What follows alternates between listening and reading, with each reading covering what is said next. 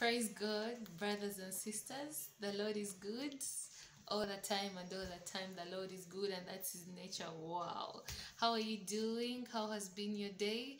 Uh, today, we are on day four of our Pentecost recollection. We have been doing a series of talks since last Friday. In addition to the novena, I do believe you are part of the novena. If you are not, I don't have anything to tell you. You need to really, really join this wonderful novena and be prepared to receive the promise of God.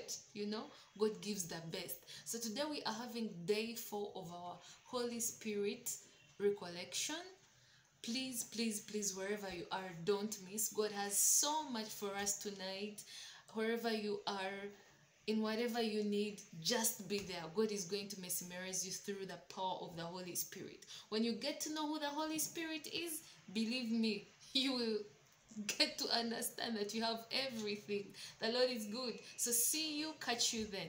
Tell the other people, share the message, share the links, uh, share the links of YouTube, Zoom, Facebook, and be there.